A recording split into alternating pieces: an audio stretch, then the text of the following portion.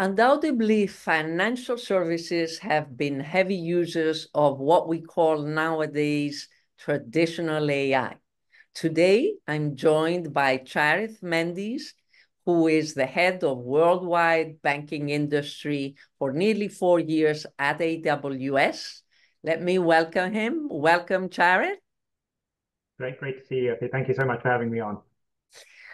I'd like to ask you, what are you seeing in the market? What kind of business areas or product areas are financial services starting the generative AI journey, which is an extension of the traditional AI's journey? Yeah, and I love how you said that. Yeah, like I think when, when we look at financial service organizations, whether they're banks, capital market customers, asset managers, it is really a, that extension, as you say, from what we class as traditional AI to now what we're seeing as uh, generative AI. I think what we're seeing is every part in that value chain is being impacted or being uh, addressed from POC and also into a production point of view. You could see, imagine the normal use cases in terms of customer experience, you know, making call center agents much more efficient by using generative AI to search knowledge repositories through to being able to support Q&A like we've seen with a number of customers explore with human in the loop. When we go into the middle office area, we see a lot of focus on operational efficiency and being able to pull intent, content, etc., both from uh, internal documents like mortgage documents and wealth documents, but also external documents as well. And then you see very interesting use cases further down the field in terms of fraud and financial crime analysis, including how some of our customers are using generative AI to be able to streamline the process when it comes to filing SAR requests or suspicious activity reports by using generative AI models to both extract, summarize, and generate some of the reporting activities.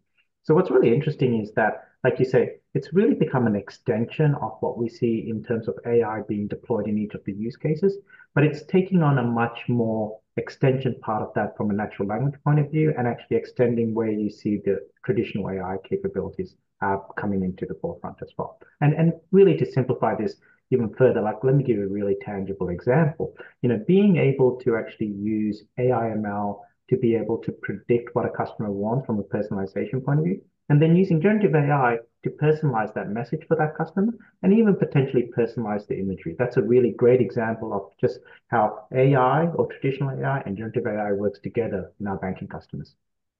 That's interesting. And we all know that this is a journey that has just started.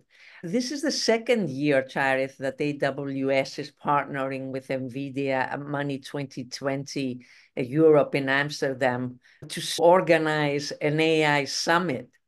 How are banks staying ahead of the curve and leveraging these AI advancements to really gain a competitive advantage, an edge, a differentiating factor, if you want? Yeah, and it's been great to be a partner of NVIDIA again this year. And I know we've done it now in the EU and then also in the US as well. And then hopefully standing room only, like Kevin says, in terms of this one that we're going to do in Money 2020 in Amsterdam this year. I think when it comes to how banks and financial services leveraging this to drive competitive advantage. I, I, think the ones that I see really focused on is really focusing on what is the immutable need for those customers. So instead of thinking about this as a technology in its own right, which it is, but really thinking about how do I actually apply it in the use cases, very similar to what, what I spoke about. So really being intrinsic on the use cases. Number two, I think as you say, we're very early in sort of the adoption of generative AI across the financial services industry and across all industries. So really understanding that, you know, when it comes to model choice, it's very, very important when you think about model choice, being able to pick and choose the right model, both today for the use case that you're addressing, but also having that flexibility to be able to evolve that over time as models become more relevant and either more specialized or more broad as we're seeing in the industry. Because I, did, I don't think there's a there's, there's a view that there's going to be one model that rules them all over the longer term as well. So it's really being able to have that choice. The third thing that we see, and we see this across the board, and many companies have talked about this, is really getting the data right. Because if you think about what you're going to be feeding into the generative AI models, or even the traditional AI models for that matter, it's really about getting the right data at the right latency, the right timing, so that you can make the right inference for the use case that you're doing. Whether that's a marketing use case where you're trying to, you know, position something above the line or personalize to a customer, or whether that's a broad use case, being able to look at a transaction and being able to summarize that to do some sort of activity reporting as well.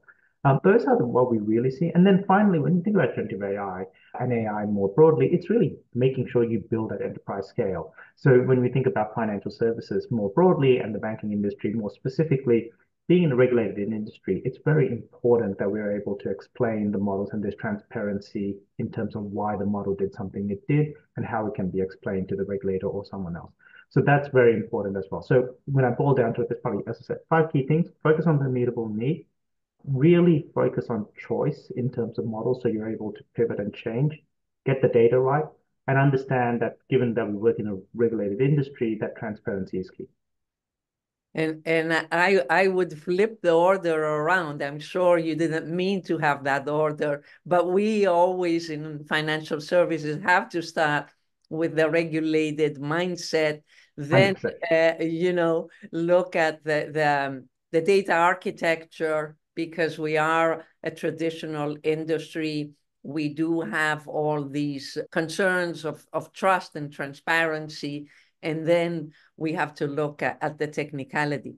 Thank you, Charith, and, and I'm very excited to be joining you at Money 2020 on Tuesday, June 4th uh, at the AI Summit. I invite all our listeners to check this out and definitely, if they're there, come and listen to the discussion with all the, the variety of participants that will be there. Yeah, thank you so much and looking forward to seeing you there as well.